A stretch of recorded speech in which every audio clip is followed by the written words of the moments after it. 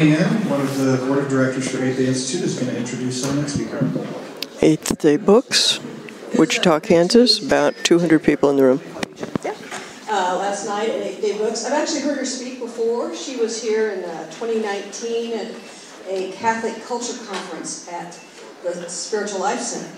And she spoke on some of the same topics she's going to talk about today. I hate to tell you, but it's gotten worse. It's not her fault, but it's gotten worse than notes. At least my notes indicate that. Uh, she is the founder of the Ruth Institute, an interfaith international coalition to defend the family and build a civilization of love. She was the co- a co- campaign spokeswoman for the California's winning Prop 8. Remember that? It won uh, campaign defining marriage as the union of a man and a woman.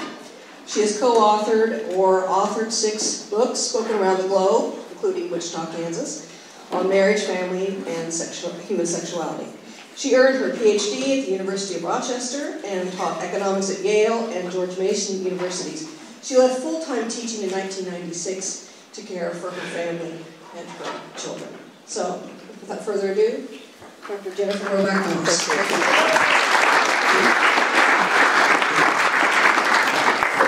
Well, thank you, everyone. I'm, uh, I'm delighted to be here. Um, and Eighth Day Books, this is my first, first encounter really with the Eighth Day Institute. I'm not sure how y'all found me, but I'm glad that you did. Um, and so, just by way of introducing myself a little bit, um, I am uh, Dr. Jennifer Roback Morse. I actually live in Lake Charles, Louisiana. Uh, I moved there in 2015. I'm a refugee from almost 20 years in California. Um, yeah, and, um, and uh, it, it, we actually do have seasons in Louisiana. We have two seasons. Um, in, from December 1st to May 31st, we have crawfish season. Okay, and people actually do dance in the streets um, and, and eat their crawfish. And it, it, it's a big social occasion because you have to go like this to get into the crawfish, and you get about this much food. So, so you have to be there for like an hour to eat. So you're all gabbing and everything, and it's a lot of fun. Uh, so, so that's crawfish season, one season. And then from June 1st to November 30th, we have hurricane season. and uh, this past year, 2020, we actually had two hurricanes. We had Hurricane Laura in August, and then we had Hurricane Delta in October. And yes, indeed, Lake Charles did get hit. Uh, yes, indeed, the Ruth Institute did get hit. Our office was wrecked uh, completely by Hurricane Laura. Uh, that's what's left of our office. Uh, that building is still not occupied anymore. That's you know over 18 months. Uh, this is my printer, my poor printer. His, his building is there's no front at all on his building, you know. Um, so, and then in May, uh, May, uh, not quite a year ago, we had a flash flood, and these are real authentic pictures. Um, my friend, this is not my friend floating in the car there, but I did have a young friend who got out of his car just in time before the car actually did start floating. Um, so anyway, uh, we've been through a lot, and um, what I learned from this experience of being uh, through multiple natural disasters is that I would rather go through a natural disaster than a moral catastrophe. And we have been through moral catastrophes in this country and in our world, and we're, going, we're in the middle of one right now, honestly. Um, and so uh, um, I, am I'm glad for being in Louisiana. What can I tell you? Hurricanes and floods and whatnot doesn't, doesn't really matter. So let me introduce you to the Ruth Institute. The Ruth Institute, as was mentioned, is an international interfaith coalition to defend the family and build a civilization of love. Now, the slides that I've created here, I will gladly send to you these slides, and in fact, I prepared them with that in mind. Um, and my colleague, Father Mark Hodges, back there. Father Mark, raise your hand so they can see who you are. The guy, yeah, the priest with the bling. Okay, he's the uh, video podcast producer of the Dr. J Show at the Ruth Institute, and he'll be circulating a clipboard where you can sign up to receive the slides. If you give me your email address, um, I'll send you the slides, and I can also send you the weekly newsletter of the Ruth Institute. And what these slides are going to include is there will be live links throughout so that you can click on them and go directly to the references that I mention here. So throughout these slides, so that you can find it easily, um, there will be tactical tips in green, how you can succeed in dealing with some of these issues in a practical manner.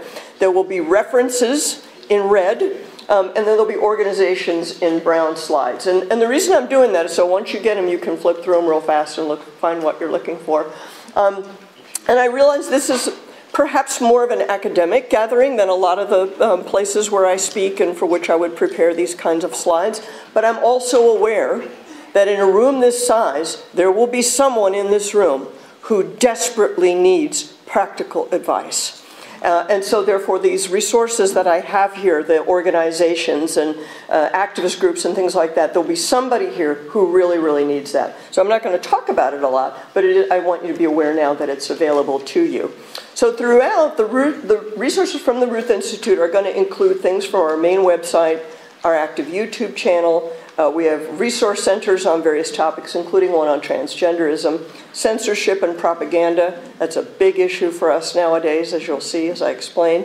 And then also on the bottom, if you go to ruthinstitute.org, at the bottom of every page, across the footer, there's these live links, and you can find everything you need right away. So it's um, if, if you're looking for it, you can find it. Now, I'm starting in this manner because the topic that I have is overwhelming. I'm aware that this is too much, okay, and this is an overwhelming amount of material. And many of you retreat and recoil from dealing with these issues because you feel ill equipped and overwhelmed. So, what I want you to leave here with is the knowledge that the church's traditional positions can be defended at the highest level. You can't do it right now, perhaps, but I want you to know that the information is available so that you can. All right, and so that's what this presentation is, is geared to do, to set you up for that feeling. Okay, so you need to feel confident enough that you're doing the right thing and sticking up for the traditional teachings and that you can find the right information. And now, this is the first tactical tip, okay? Pro tip, as the kids would say, okay? On the green slide, okay? You need to go into these conversations with confidence because your opponents want you scared and they want you angry or they want you both. Because if you're angry and scared, you're ineffective. You won't know what to say or you'll abandon the field. You know what? If we censor ourselves, they don't have to censor us. So don't censor yourself, okay? Right? If you don't know, find out. And, and, and you can say that. There's nothing wrong with saying that. So that's why I'm giving you more information now. I know you're not going to absorb it all, okay? But I want you to be aware where you can find it. So this talk has got two um, big parts, two big sections. The first is what do we stand for? What is it that we positively believe in? What do we stand for? Put it another way, what are the sexual revolutionaries trying to break down? What, what, are they attacking? What do we stand for? So we have to have that very clearly in our mind. And then, secondly, the second part is that in spite of all of the crazy, um, overwhelming, massive stuff that comes at us in this area, there are really only three big ideas that you have to deal with. There are really only three big ideas to master, and I'm going to lay those out for you, and you'll see that all the garbage that's floating around and seems like it's coming at you from every direction is really only three things. And you can break it down, it's manageable, and you'll be okay. All right, so uh, while we're doing this and the clipboards are going around, uh, Father Mark and uh, friends, would you pass out those pamphlets as well? Okay? So, what do we stand for? What are we trying to defend positively? The Ruth Institute has a dream. The Ruth Institute's dream is that every child be welcomed into a loving home with their own mother and father married to each other. That is the Ruth Institute's dream. That's what we positively stand for. So that every child can have a relationship with his or her own parents unless some unavoidable tragedy takes place to prevent it. And by unavoidable tragedy, I mean death, mental illness, something on that scale. I'm fed up with your father is not an unavoidable tragedy. Okay? That can be avoided. And so that the reason we have this dream is also so that every adult, without exception, can know his or her genetic identity and cultural heritage. So even if your daddy dies, you still know who your daddy is. Right? Even if you're somehow separated from a parent, your mom's in a mental, mental institution or something, you still know who you are, even with the unavoidable tragedy. So we refer to these as the structural rights, the rights of children. And when these rights are violated, we refer to that as a structural injustice to the child. And the reason we use the term structural injustice to the child is that a lot of people want to say, well, I'm a good parent, and my good parenting skills will overwrite these problems of separation, of, of, avoidable separation between the parents. That turns out to be empirically false, okay? Good parenting skills are not enough to overwrite family breakdown. They are not. That's objectively true. We know that.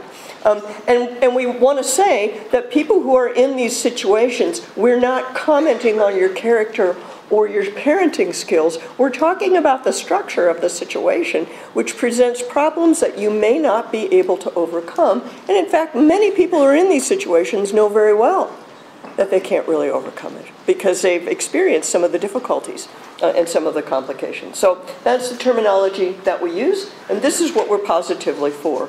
So we'll put it this way what is owed to the child? We would say people are owed identity, that every person has a right to know their identity, their genetic heritage and cultural identity, and relationship, that every person has a right to a, a relationship with their natural mother and father, except for some unavoidable tragedy.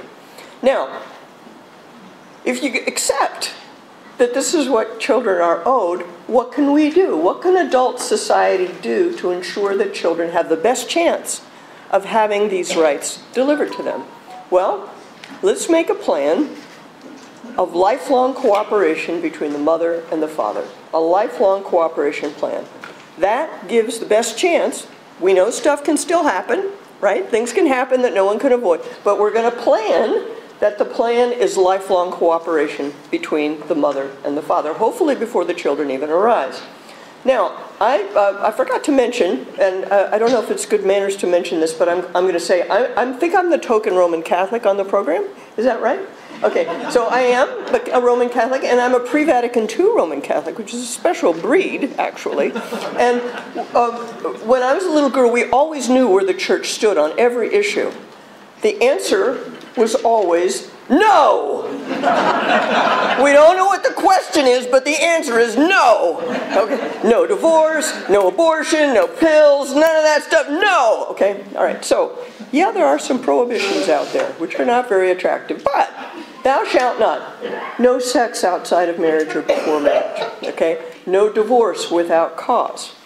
No petty criticism of your spouse no third party reproduction. They didn't tell us that when, before 1965, but it was implied in all of the other things. No third party reproduction. You know what I mean by third party reproduction, y'all?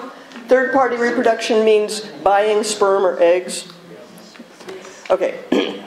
or we could put it in positive terms. Well, actually, before I get to the positive terms, I just want to go, go to this point. No petty criticism of your spouse. That was actually always part of the tradition.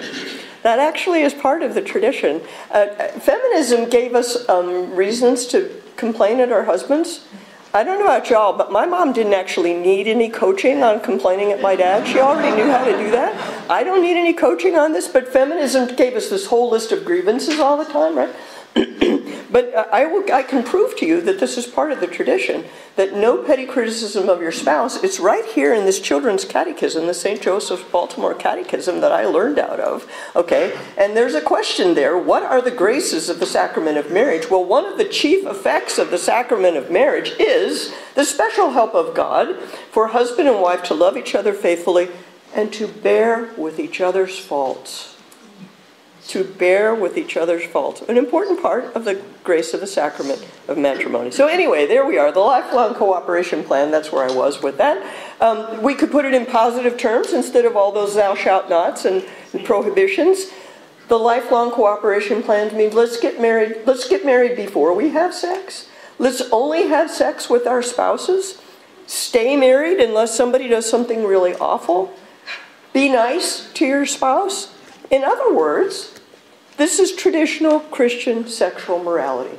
That was the package. That still is the package. That's what we defend positively.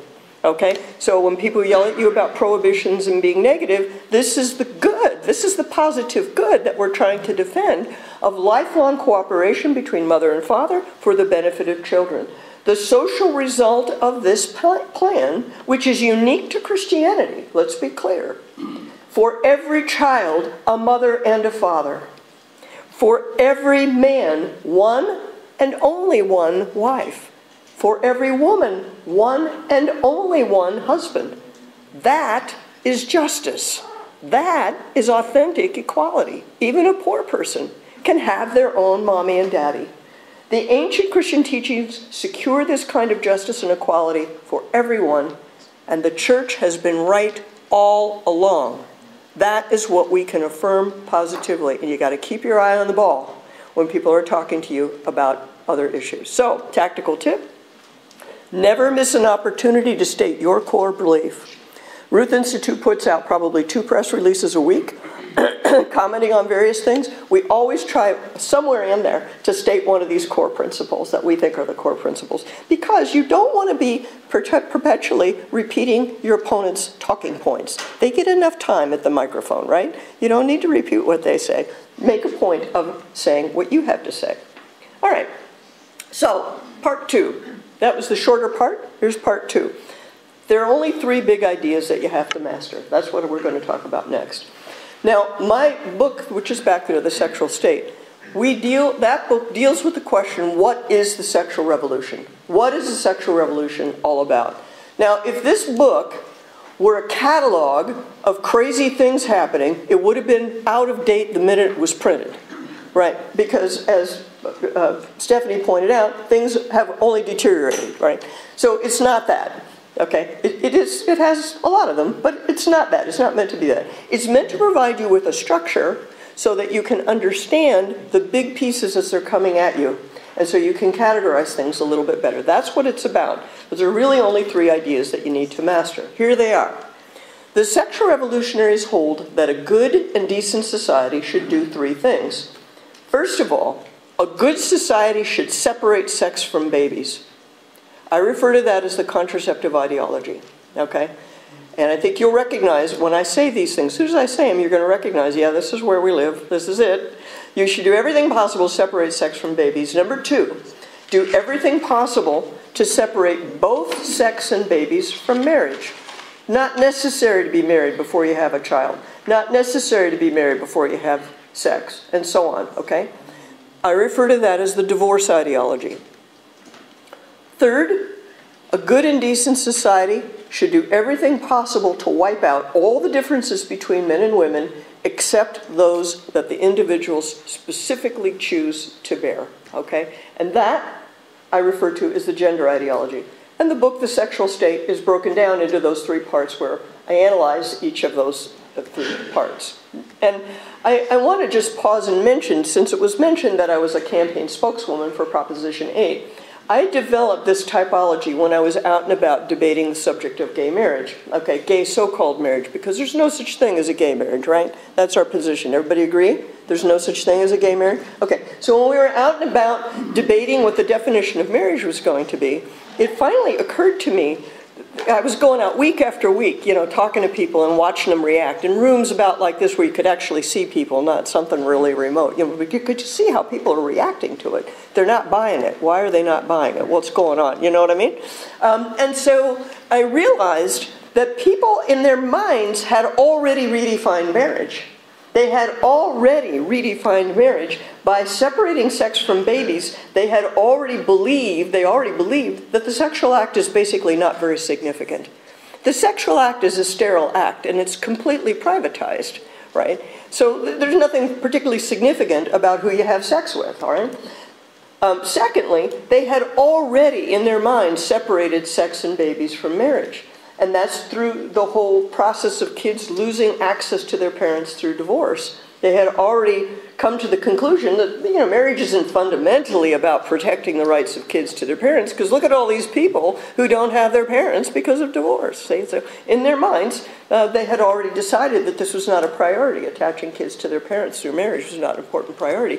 And finally, um, they had already decided that the sex of the body was not particularly important. Okay, that, that took place a long time ago, right? So the public then couldn't figure out why we were holding out on marriage, on same-sex marriage. The only thing they could figure out is we must be haters, right? Because in their minds, it's already, all these things have already taken place. It's like gay marriage is like a mopping up operation to finish the redefinition of the social sexual system that we're all living in, okay? So that's how I came up with this. And so I've got a bunch of red slides here that take you to specific links about more information for each one of these things. So this is another important tactical tip that, um, that may be a hard pill for some of you to swallow. Um, well, no, this, uh, uh, I'm, I'm, backwards here. Um, if you, these, these information that I just gave you on these red slides here, with all these, you know, videos you can watch and stuff you can read and everything like that, I just want to point out to you, if you study a topic for 30 minutes a day, at the end of five years, you will be an expert. You'll be five years older, but you're going to be five years older anyway, right? So pick out something that you want to master that makes you, it makes your heart sing, you know, and go after it and become an expert so that you can go out with confidence and talk about it. All right, so these three topics of the three ideologies, let's take them in reverse order, okay? separating sex from babies, separating sex and babies from marriage, and wiping out all the differences, okay? Um, the gender ideology. Uh, what I'd like to do now, I think they've passed out the manifesto for the family. Does everybody have that? You can open that up now. We'll be looking at it in a few minutes. Okay, so I just want to call that to your attention. Okay, so what is the gender ideology? What do we mean when we talk about the gender ideology? Well, when I was growing up, um, what we were taught is in feminism, the whole feminist thing was that men and women are identical, except women are better. Y'all recognize that? Okay, yeah, okay, so that's the thing. So therefore, therefore, what we all learned was that it was a moral imperative to wipe out all the differences between men and women, because if you see any difference between men and women, that is certainly injustice. Am I making this up?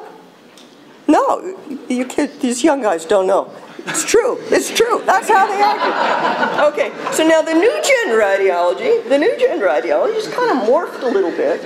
Okay, and I'm going to explain that in a minute. Wipe out all the differences between men and women, except the ones that people specifically choose to embrace. Okay, so if I decide that I'm a man, for whatever reason I might decide that, then that's it. That's all that's required, is that I'm now a man. So now, who benefits from the gender ideology. We've got to say a few things about this. So somebody has already alluded to the idea of following the money. You follow the money, what you're going to find is that there are a number of large foundations that are pumping large amounts of money into the gender ideology. And I have a link here to an article in the Federalist that came out several years ago. It's called Who Are the Rich White Men Institutionalizing Transgender Ideology? Many of these people have ties to the pharmaceutical industry. That is a fact that many of the people putting the money on the table have ties to the pharmaceutical industry. Now think about it. Think about it. If you're going to change the sex of the body, the only way you can get pull that off plausibly, it's not very plausible in any case, but the only way you can possibly pull it off is you're going to be a lifetime customer for expensive hormones. Okay? So this is a big part of what's going on. And of course, it's principally men who are financing this. It's principally men who are promoting it. It's a very interesting phenomenon that uh, many of the radical feminists are dead set against the transgender ideology, dead set against it. And what you see when you when you look carefully, because there are feminists all over the place. Of course, it's one of those big words, you know, that a, a lot of people assign different meanings to. But when you're looking at a feminist who believes in the body, she will be opposed to transgenderism Right? If you're looking at a feminist who somehow, like Judith Butler or somebody, somehow wants to transcend the body in some way, they're all they're all about it. They're all in favor of transgenderism. Okay, and so there are a number of feminists who are rethinking their primary commitments, which is a very interesting phenomenon for all of you to be aware of as people of faith. Right. So, what does the term transgender even mean? Now. I'm going to pause on this slide for a moment because I've put a number of things up there. And this is based upon a talk that we had at our, our we had a conference last we have a conference every year too, the Ruth Institute does. We had a 15 minute talk where I asked somebody to spell out the psychology of the trans minded individual. Who are these people who would show up to Planned Parenthood wanting cross sex hormones? And the reason we were doing that is because that's happening that's Planned Parenthood's new cash cow, right? So there are people going and wanting cross-sex hormones. Anyway, so what does this term even mean? So she came up with this typology of people who, some of whom are intersex. Sometimes the word transgender is applied to any of these categories. That's what I want you to see. Intersex individuals, that is people who have a medical condition that is somehow ambiguous. Uh, autogynephilia. Autogynephilia is a condition where a man is sexually aroused by seeing himself in women's clothing. Okay? Then you've got predators. A man who's predatory, who puts on a dress so he can have access to women's bathrooms. Okay? Then you've got pretenders, people who are pretending to be women because they can win sporting competitions, as we've seen that's happening now. Um, Munchausen by proxy, okay? Do you know what this is? Munchausen syndrome is somebody, it's basically a fancy word for hypochondria, right? Um, you know, that you enjoy poor health and uh, you, you, get a lot of attention for your medical conditions and so on and so forth. There are some children, I'm convinced, that some of the children who are showing up in gender clinics, their moms are doing Munchausen by proxy. Their moms are obsessed with their child's condition. And it's really not about the child, it's really about the mom. You know? So that's out there also. That's another thing that's out there. And then finally, the, the young person who's genuinely confused about who they are. Maybe they have what's called rapid onset gender dysphoria, and these are the kids who are on the internet all the time and have become convinced, and so on and so forth. Um, associated with that is a number of these young people. Uh, there's a disproportion of them who are on the autism spectrum.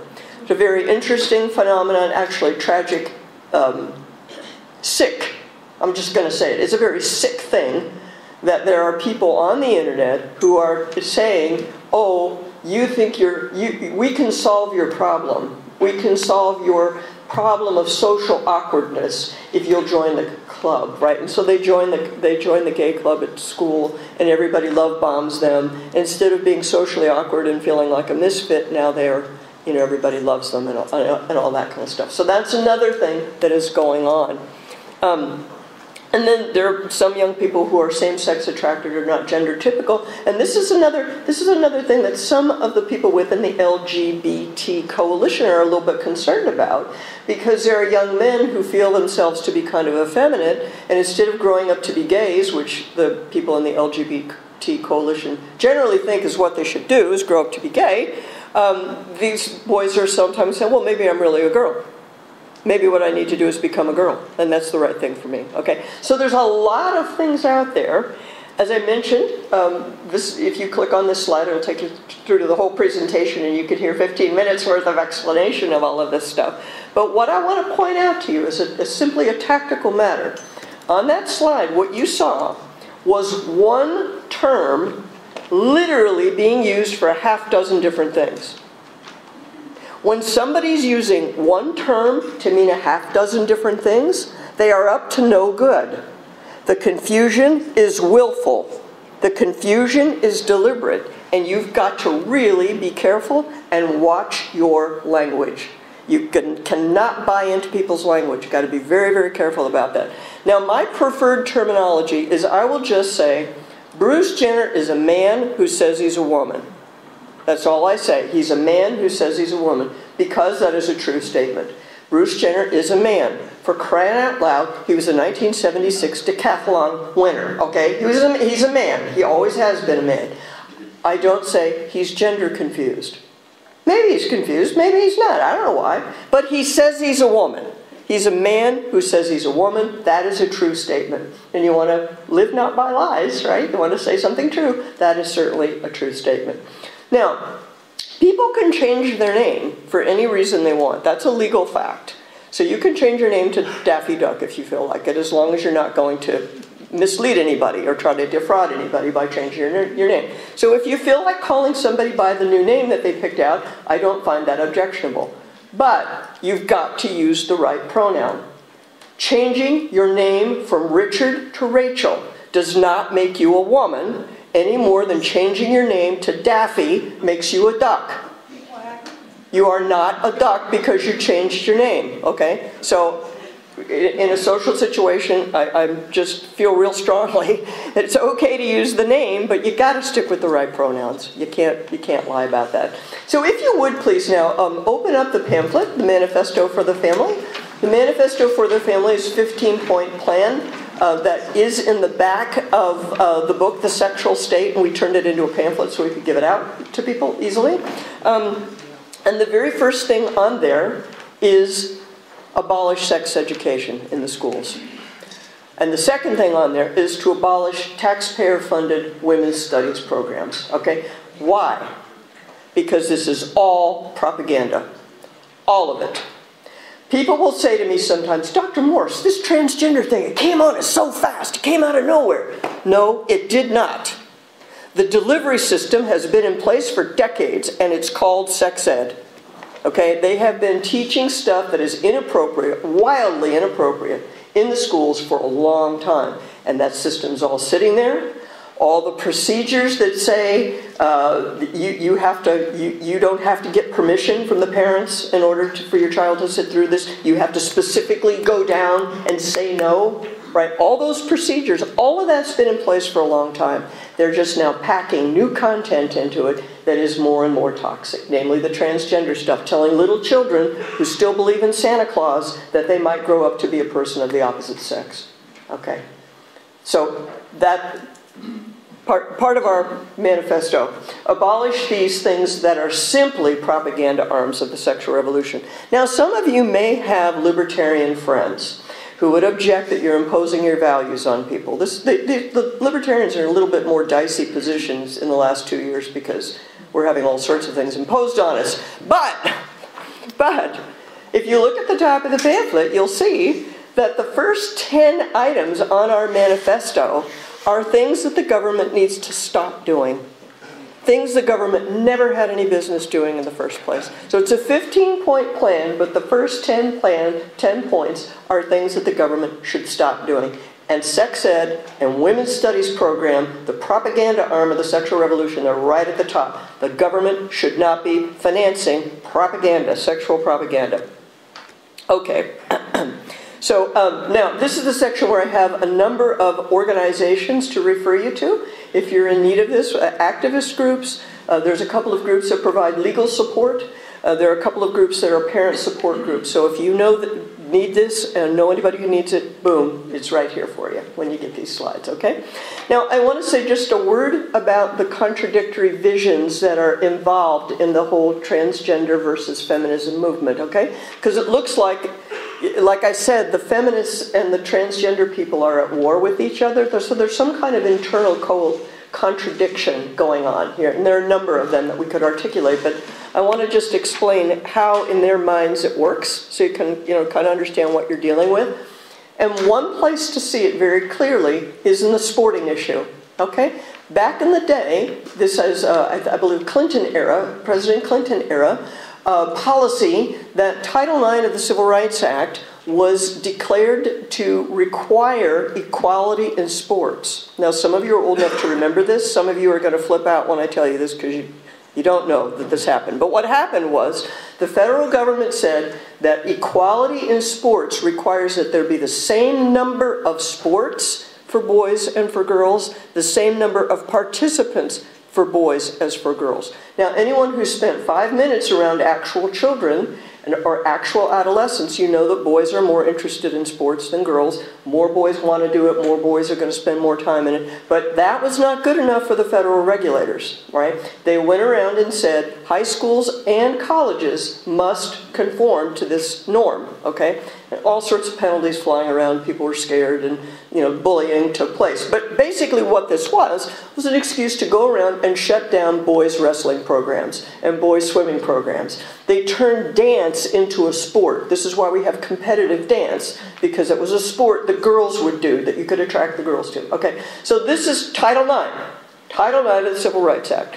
Now, Obama era, same regulation, Title IX, was used to say the, that every student can participate in the sport that corresponds to their gender identity, which, as we all know, is the end of women's sports.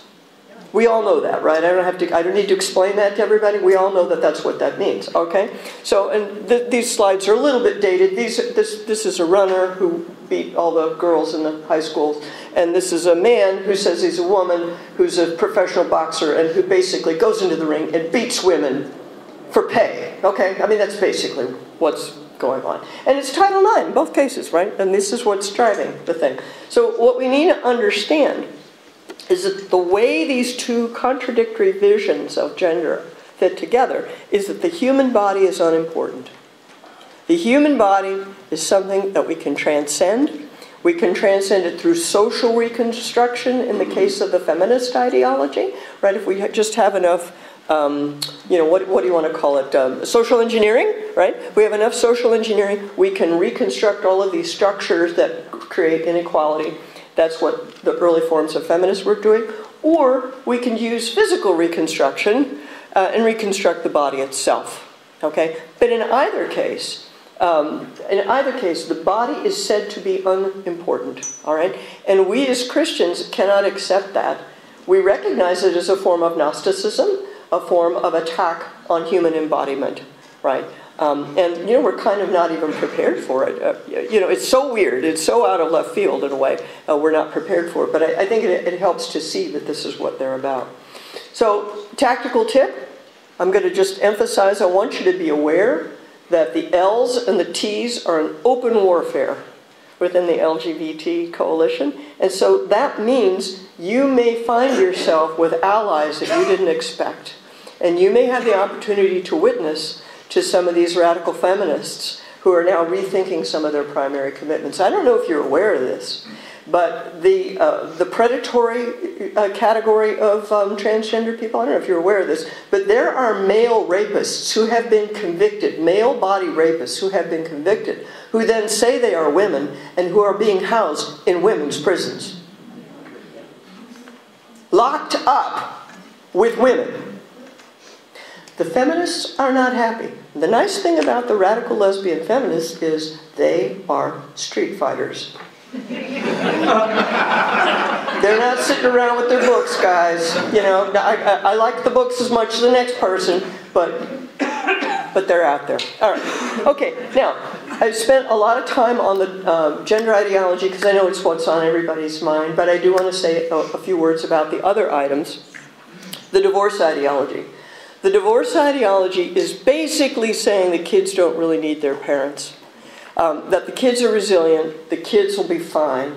Okay, as long as the parents are happy, the kids will be fine. Now, I should mention, I brought a few copies of other pamphlets that the Ruth Institute has. I didn't bring enough of all of them for everyone because there's a lot of them. But one of them, we have this one pamphlet called Children in Divorce, and it, um, it features a chart here and it's, this is a very modest chart, actually. It shows the harms that children experience as a result of their parents' divorce. Meaning, these are things that are statistically more likely to happen to you if your parents divorce. Okay? And so there are things like falling behind in math, getting sick, needing Ritalin, losing contacts with your grandparents, engaging in criminal activities, getting divorced as an adult, and so on. Okay? So it's a very well studied area the effect of a divorce on children. It's very well studied.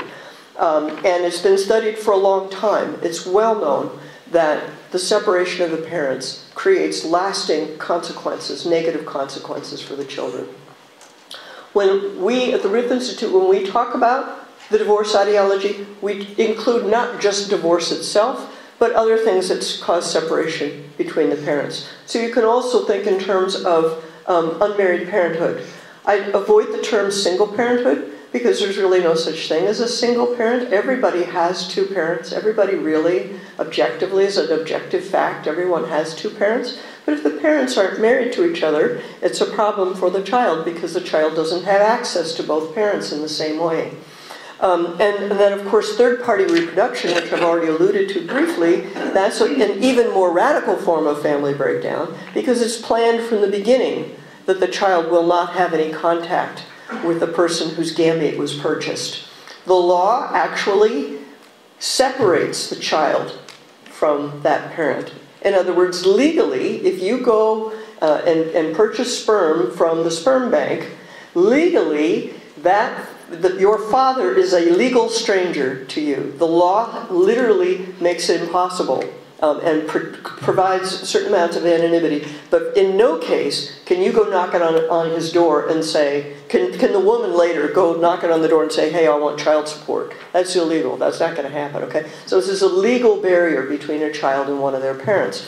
So when we talk about this, I've, I've have a number of experiences talking about this whole issue because this is one of the first things that really troubled me and got me involved um, in, in, in, these whole areas. Um, I would, I would show my charts and graphs and so on, and people were not impressed with the charts and graphs. I figured out, you know, not, it, it turns out this is a this is kind of a bummer for me as a social scientist. It turns out that people are not. It's a, it's a scientifically proven fact that people are not persuaded by scientifically proven facts. That's kind of a problem. So what, what, the feedback I'd get from students, for example, would be, well, my parents are divorced, my mom is a single mom, and I turned out okay. You know, that would be what I would get back. So I finally started thinking, well, what's driving this stuff? Why is it hard for the kids? What's, what's the experience of the child? Well, the experience of the child is disconnect, kind of disconnect. Think about the good divorce, what we're, what we're told we're supposed to do if we're getting a divorce. What we're supposed to do is we're supposed to say, sit the child down and say, now mommy and daddy are going to get a divorce. We still love you, but we just don't love each other anymore. And the child's supposed to go, oh, okay, okay, like that's okay. But in the child's body, the child is in the embodiment of your love right, of mom and dad's love for each other. You are the physical embodiment of your parents' love. So you are half dad and half mom. So you love me, but you don't love my other half. How does this even work? Right? And they're, they're like five. The child's like six or something. Well, you know, the reason the child's confused is because it doesn't work. It's not true. Right? You, know what I mean? I mean, there's something very false about what is being said to the child, and we're leaving the child there to figure it out on their own. Now, as Christians, we know that the prohibition in the Bible that Jesus is very clear about, it's been re- reported multiple times, his prohibition is not on, you must stay with an abusive spouse. This is what we're always accused of believing, right? You Christians, you think you have to stay with an abusive spouse. Blah, blah, blah, right? I, you can all do this by heart. No, what Jesus says you can't remarry. That's what he says. He doesn't say you have to stay with a slob. He says don't go try to contract another marriage. Now, if you start talking to children of divorce, adult children of divorce, if you look at the data, you know what you will find? The worst thing is the remarriage. That's what you will find. Now, why? Let's think this through. Again, from the child's perspective, let's say you're five years old. Your parents get divorced. Your parents remarry. You, five years old, six years old, you're going from mommy's house to daddy's house every weekend. You notice that when you go from one house to the other, there are pictures on, at your daddy's house of you with your daddy. There's no pictures of your mommy. You go to mommy's house, there's no pictures of daddy. There's no pictures of you with daddy. There's, but mommy's had a new baby with her new boyfriend or her new husband. And he's there all the time. And that baby doesn't have to go anywhere. And that baby has pictures on the wall that include all of them. And you do this year after year after year. You're 12 years old and your, your half sister is 8 years old and she has a whole family tree and you don't. Okay? There's something deeply wrong with what is being asked of the child. The child is being asked to do the hard thing. Not the parents. The child is being asked to do the hard thing. And in my book, Social Scientists, we can't trace all the causal links, but I think that's what's driving all these things, right? All the anxiety and the upset and the disconnect that the children feel is showing up in all of these pathologies and all these problems. That's my opinion based on, you know, these really lots and lots of research that's out there and talking to lots and lots of adult children of divorce and single parenthood. So, there's much more I could say about that. I'm going to stop and just mention who benefits from the divorce industry and the divorce ideology. Well, the family law bar consistently blocks divorce reform, I'm just going to say. And we have to say also that the family courts have an enormous amount of influence over ordinary family life. Once you leave the normal private realm and go into the realm of family law, now you are under the authority of the state in, in ways that would be shocking. You know, the, the idea that somebody could be checking your finances and checking how much time you spend with your child and uh, all of these things that would ordinarily be considered very intrusive, that's all there now. That's all institutionalized. That's all been there for a long time. Again, been there for a long time. And, um, you know, we, the, the, the, other factor that keeps the divorce industry growing is a lot of people have in the back of their minds, well, I might need a divorce someday, so I'm not going to say anything. Or I've been divorced and I feel bad, so I'm not going to say anything. Even when you see it go south, even when you see it create other problems. So this is a deeply entrenched problem, but I, I think we do ourselves no favor if we overlook it, if we ignore it. So this is another tactical tip that I'm going to give you, and this is a hard-earned one on my part. Um, to be prepared to talk about the whole sexual revolution. You're not going to be an expert on every single point, but I can remember many times, especially in the beginning when I first started doing this, um, talking about the fact that kids need their moms and dads, and the person uh, proposing gay marriage would always come back and say, well, kids lose their parents to divorce all the time.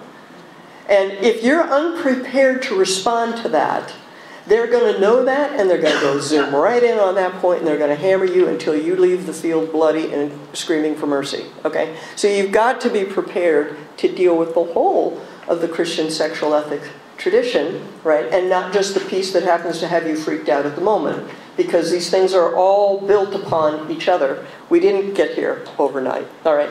Now, this is my friend Katie Faust um, who has an organization called Them Before Us. This is a very helpful organization in dealing with the impact of divorce and the divorce ideology on children. We gave her the Best Book of the, of the Year award from the Ruth Institute last year, and we have a number of things with her. Okay, so also in the Manifesto for the Family, um, we have as one of the items reform divorce laws. Now, next thing. We got to talk about contraception, people. We got to talk about the contraceptive ideology. Now, we don't do theology, supernatural stuff. That's not what we do at the Ruth Institute. We're an interfaith coalition. We're, you know, we got people representing a number of different positions. I just want to focus on the things, the ways in which the contraceptive ideology has affected society. That's what I want to talk about. I'm going to show you a slide here. How many Roman Catholics do I have out there? Can I see a show of hands? Roman Catholics. Okay, so when I show this next slide, you're going to laugh. You're going to get it right away. Uh, the rest of you, let me explain the joke. Okay, I'm going to show you a minute, in a minute an image of Paul VI, who wrote the important encyclical Humanae Vitae, which reaffirmed the tradition of prohibition on contraception. So what, usually when I put this picture, uh, my Catholic friends just laugh out loud. See what I'm saying? Yeah. See what I'm saying? I told you so. Okay? All right. So, what, what has contraception done to society? Well, what we're trying to do is to create a society where sex is normally sterile, where the default setting is that sex is a sterile activity with procreation thrown in as an afterthought if you happen to have quirky lifestyle preferences, then you could have a baby. But basically, you can look forward to a lifetime of child-free sex. Guilt-free, problem-free sex. Okay, that's, that's what we're trying to say. I am going to point out to you guys, though, that Martin Luther was opposed to contraception. John Calvin was opposed to contraception. The tradition, the whole of the Christian tradition at one time was united on this point. It was only in 1930 when the Lambeth Convention of the Anglican Church uh, at their meeting said, oh, well, it'll be okay for married couples with serious problems in 1930. And that was the first Protestant denomination to um, step away from that traditional teaching. So again, we want to take a sober-minded look at, uh, at, at this ideology. And I want to specifically make a point of talking about the difference between the ideology and the technology. Because sometimes you'll hear people say, as soon as I say this, you're going to go, oh yeah, I've heard that. You'll hear people say, the pill changed everything. You ever heard anybody say that? Okay. I want to caution you against that thought process, and here's why. It's, the pill is an inanimate object. The pill has no volition. The pill doesn't do anything. People do stuff. Somebody thought it was a good idea to develop the pill. Somebody raised the money to pay the researchers. to develop the pill. Some researchers did the research to develop the pill. And then you got millions of people spending literally billions of dollars to promote the pill. That's human agency. That's not an inanimate object, okay? So this, the thing I want to have in your mind, and, and I think that's a general problem that we often get into. Sometimes we'll say the culture changed or something like that. You got to watch that. You got to ask yourself, who's changing the culture? Who did what that's making this happen? Okay, so just put that into your mind. Anyway, um, the, I want to call attention to the ideology of contraception versus the technology of contraception. There is something called the first demographic transition which is well known to uh, demographers, people who do population studies.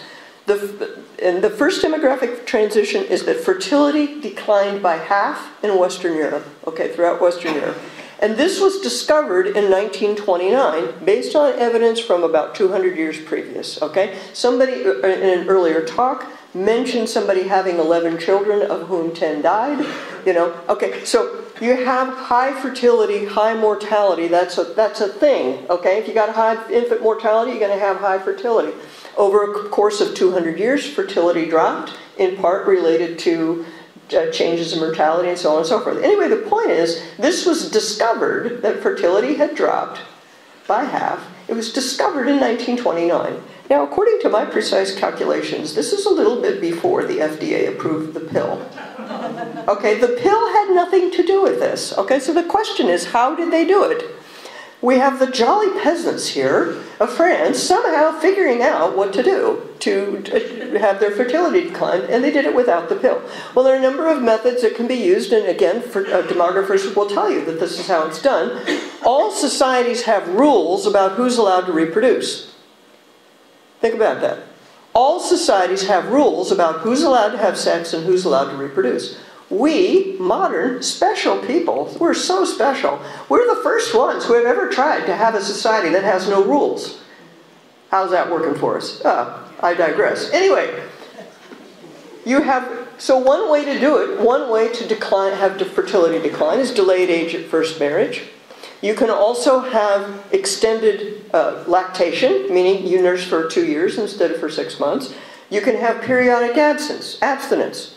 All of those ways are pretty reliable ways of having fewer babies. You can also do coitus interruptus. With the exception of coitus interruptus, all of these methods are perfectly acceptable morally. None of these methods require any kind of special dispensation or anything like that. It's just, you know, this, is, this is how it works. It can be done. If you want to have fewer kids, this is how it's done, okay? And they did figure that out, and this is what happened. So what was the point, really, of the pill? What was the point of the pill? Margaret Sanger, and you all know who Margaret Sanger is, I don't have to tell you, tell you who she was, she used to go around saying that the point was to help women like her mother who had 12 children. Okay, that was the point of it. Well, actually, that's, that, that's not really credible when you stop and think about it because you don't need a pill to do that, to, to stop you from having that many children. And in fact, as I just showed, a number of people had already figured out how this was done. The other way you can get, they, they kind of give the game away with this very interesting book called The Birth of the Pill, which is a big cheerleading book in favor of contraception and so on and so forth, um, where the guy, the author gives away the game as to what they really wanted. He, he makes this statement. He was looking, they were looking at one of the early renditions of the pill was 85% effective, meaning a 15% failure rate, okay?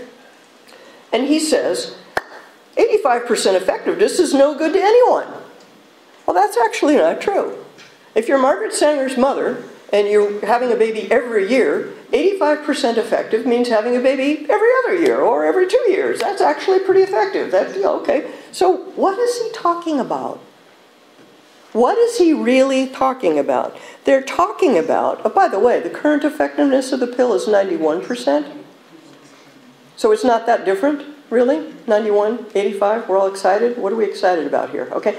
The real point of it was to change the psychosexual social system to believe that it was possible to have sex even with somebody you weren't married to. If you have contraceptive failure and you're married, what do we call that last little baby that came along that nobody expected?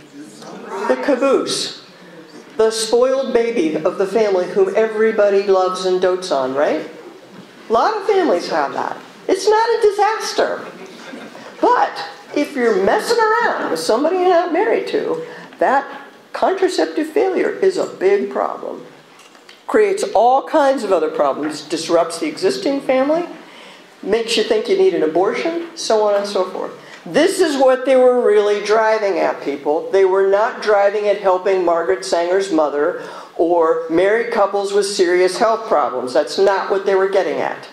They were getting at rewriting the social sexual system so that you could have sex whether you were married or not. And in good conscience, not have to worry about the baby. Abortion is just the tip of the iceberg of the ways in which we're being unfair to children. I mean, it's the most heinous, I'll give you that. But all of the alternatives associated with contraceptive failure, they all have big problems of injustice to the child. So that's what they were really after. Okay, so now in your manifesto for the family, one of the uh, the next point on there is that uh, is that the government needs to stop promoting contraception.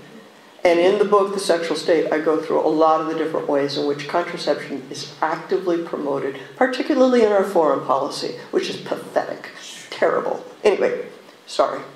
I'll try. I'll try. Okay, so now, why did the sexual revolution pivot to transgenderism after gay marriage, after the Obergefell decision? Why didn't they all go after polygamy? That's what everybody thought was going to happen. What, where did this transgender thing come from all of a sudden, right after Obergefell? Because, in my opinion, it's because the whole drive to redefine marriage was not really about marriage at all. It was really about furthering the goals of the sexual revolution. Transgenderism furthers the goal of destabilizing the sex of the body, which gay marriage also did. Okay? So that's why they turned to it and they took all of that money and all that infrastructure, boom, pushed it right in there.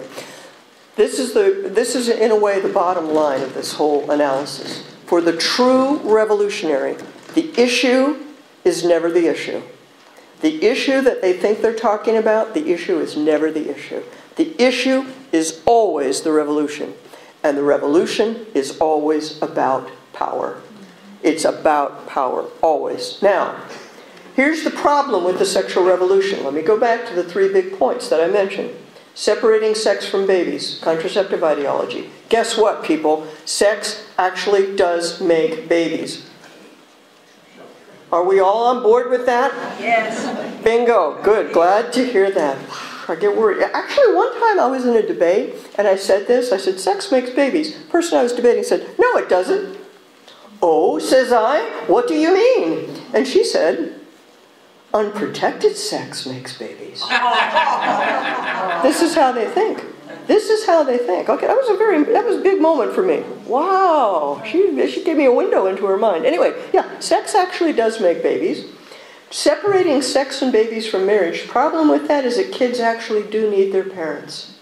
And if we separate sex and babies from marriage, kids are really going to suffer from that. And finally, wiping out all differences between men and women. The problem with that, folks, is that men and women actually are different. Are we all on board with that? Yes. Thank you. Good, good, good, good, good. The problem with the sexual revolution is that it is irrational. It is irrational. It is impossible. It cannot stand on its own. And this is the key insight of the sexual state. This is the key insight here. It cannot stand on its own because what it is attempting to do cannot be done. But that doesn't stop them. Don't you think that's interesting? You would think after multiple failures they would give up. No, because it's not about achieving the objective, it's about the accumulation of power. It takes a lot of power to do the impossible. It takes a lot of propaganda to make people think the impossible is possible. Once you start looking around, you're going to see propaganda everywhere. Stories that aren't news. Right? Human interest stories about childless women and how happy they are. You know, this kind of stuff, right? It's propaganda, all of it. In order to keep the sexual revolution alive, it has got to be propped up constantly with force and propaganda. It is a totalitarian ideology that no Christian should have anything to do with. People, we cannot make nice with this thing. We cannot compromise with this thing. It will not go away on its own. I think of it as a fantasy ideology. A fantasy ideology is kind of a soft power system that uh, provides cover for the accumulation of hard power, okay? And it disarms the victims and it emboldens the predators. That's what we've seen. The ultimate goal of this, and I think really every, um, every totalitarian ideology you can think of, the ultimate goal is always to remake human nature. Okay, so whenever you see somebody trying to remake human nature, run, right? because they're up to no good. And the fantasy ideologies always target the family and the church.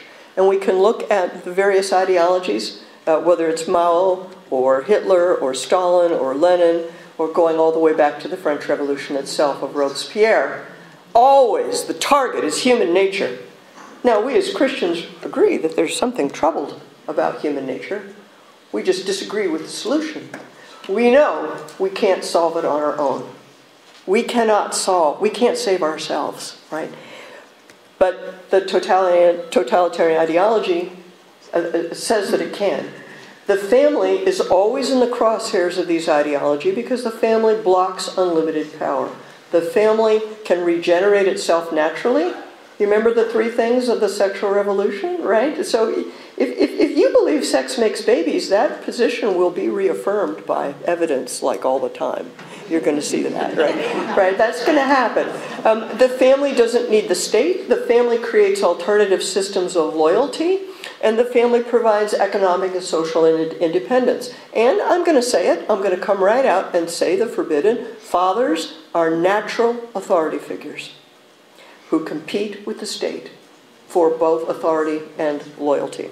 Tactical tip imagine that you're in a real war, because you are. You're a soldier in a real war. You need preparation prior to battle, courage in the battle, and discipline before, during, and after the battle. May I say, I don't want to hear any whining about how terrible things are. Almighty God put you and I in this time and this place to solve this problem. You and I, here today, now.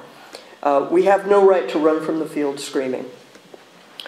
We have known as Christians for a long time that we are enemies of the human race. Right? This was told to us a long time ago. This is one of my favorite paintings, St. John Chrysostom cussing at the Empress for her, well, I don't suppose he was cussing, but you know, he was giving, he was letting her have it, right? Uh, and look at him, and look at her, look at the ice queen there, you know? Um, from the beginning, the church has been telling the rich and the powerful, listen, y'all, you don't get to do whatever you want. There's a higher standard. You don't get to do whatever you want. And therefore, we've been in their crosshairs all along. So we know that, uh, that we will endure. St. John Chrysostom is revered by Christians east and west. Who even remembers this empress's name? Okay, some, some crazy homeschool mom will know. Never mind. Never mind. the point is, the point I'm is. not a homeschool mom. yeah, but she is crazy. She is slightly nuts. Yeah, okay, okay. Listen, y'all. Listen. This is our moment. It's our turn to stand up for the faith. We will endure. Thank you very much.